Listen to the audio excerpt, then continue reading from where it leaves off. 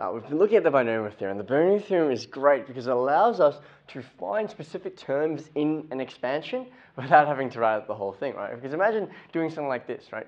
Um, not even algebraically, but even if we could use Pascal's triangle here, which we can, we'd have to go to the 18th row of Pascal's, write out all the coefficients, find the coefficient of x to the power 8, and that takes still quite a bit of time.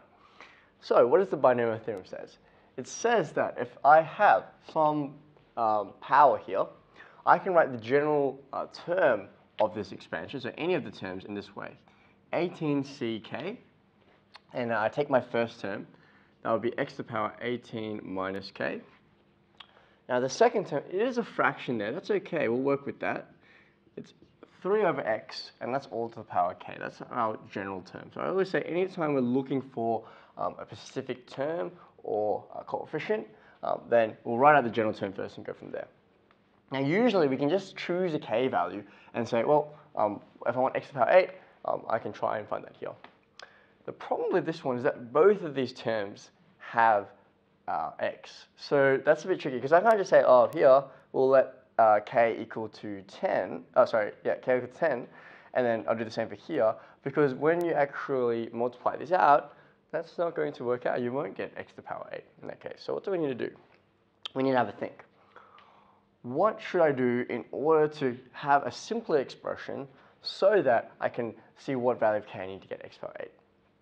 Remember, these are just multiplied together. So I'm thinking back and forth, okay, how can I bring these together? Well, if they had the same base, I could do that, but I don't right now. I've got 3 over x here. But then you want to think, hang on, if I have something on the denominator, what's another way you can write that? Well, you can write that as x to the power negative 1, right? So why don't I do that over here? This is 18ck, x to the power 18 minus k. Now 3 over x, if you had 3 over x, well, that 3 is on the numerator, so that would just be 3x to the power negative 1. Only the x to the power negative 1 there. So I've got 3x to the power negative 1. This way, it becomes um, I can, uh, a lot easier to start uh, manipulating now because if I take this expression and I say, well, when I have a, a power to a power, I multiply, right? But don't forget, you've still got this coefficient here. So if I want to uh, expand this out a bit, right, you still have to have 3 to the power k. Don't forget that one there. And that's going to be x to the power negative k. Now this 3, that's just a, a coefficient, so I can actually bring that to the front.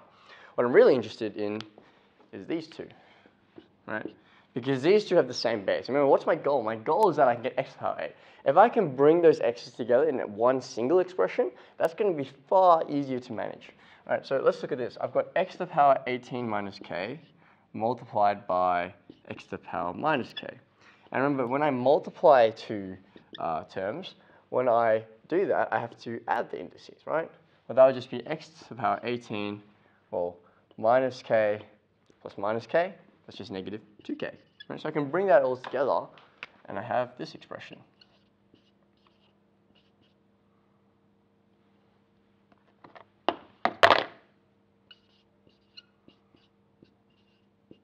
Okay, right.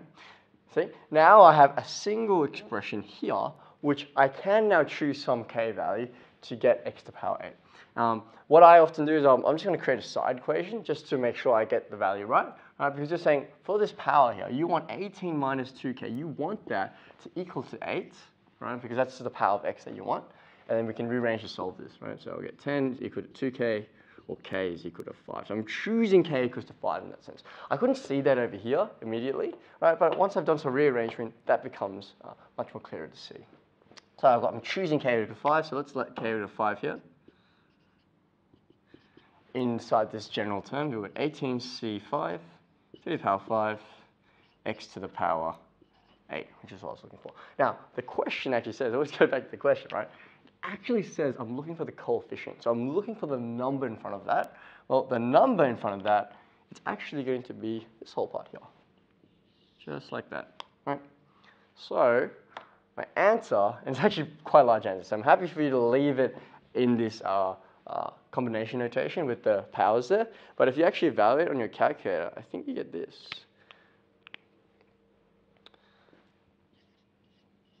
Two. 024. So the coefficient is 2,082,024. So that's the answer to this question. And that's how we can use the binomial theorem in order to find the coefficient of any term in any kind of expansion, no matter how difficult they are with their high powers or they've got you know, negatives or fractions or whatever they have. Always start off by writing the general term and then, um, then you can go from there and choose a k power that lets you find the coefficient.